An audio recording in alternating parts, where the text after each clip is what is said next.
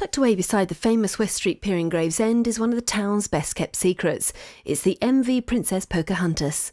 The boat is operated by free men of the River Thames who have spent their working lives on the historic waterway.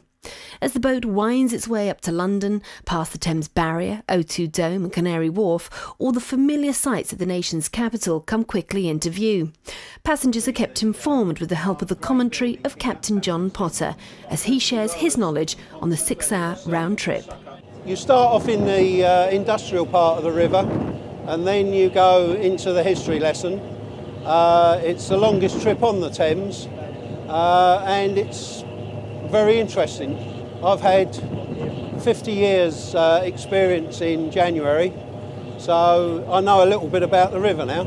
Today, when we went through Tower Bridge, I've been coming up and down the river uh, since 1959, and whenever I go round Wapping Ness and you see uh, Tower Bridge, still brings a lump in the throat.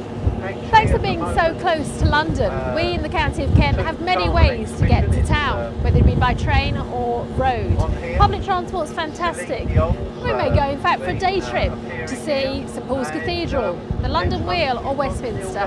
But there's so many sites that we don't see that are tucked away across the banks of the Thames. Princess Pocahontas Cruise takes you from Gravesend all the way around the Thames, up through the barriers, up to Greenwich, and then right in to the centre of London. You get treated to lunch on the way. Now that's what I call a commute. It turned out to be a very different, relaxing, and enjoyable way of getting from Kent up to London. Why not try it out for yourself? Julie Maddocks reporting for Your Kent TV.